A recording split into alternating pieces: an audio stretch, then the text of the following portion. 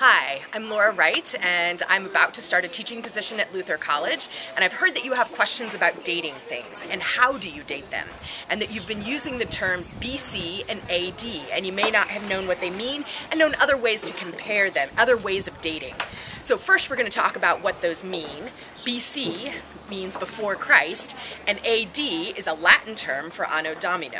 which means the year of our Lord. And it actually starts with the year that Jesus was born, or that we think that Jesus was born, and we count up from that.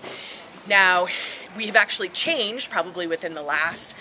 um, few decades in the ways that we talk about dating things because we recognize that everybody isn't Christian. And so we've begun to use the terms BCE and CE, which refers to before the Common Era and Common Era. And the dating is exactly the same as BC and AD, but it's a recognition that we aren't all Christian and out of respect for others who might not be Christian and date things with regard to Jesus. But also, if you go into other cultures, especially around here, you'll see different ways of dating things. So if I were to go over to Jordan and read, say, an archaeological report there, in the beginning of it, it would actually have a date that would say AH, and it would talk about after the Hajj that Muhammad went on. And they would date things based upon um, Muhammad's date, the date he went to Mecca.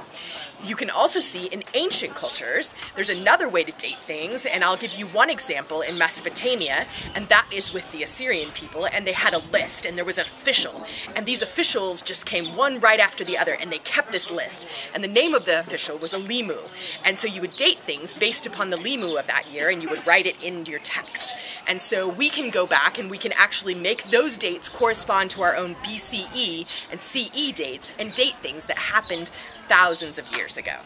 I hope that helps you understand um, the ways that we date things as people in the Western world and how that differs from others who might date things based upon Muhammad and even ancient peoples and how they formed their calendars.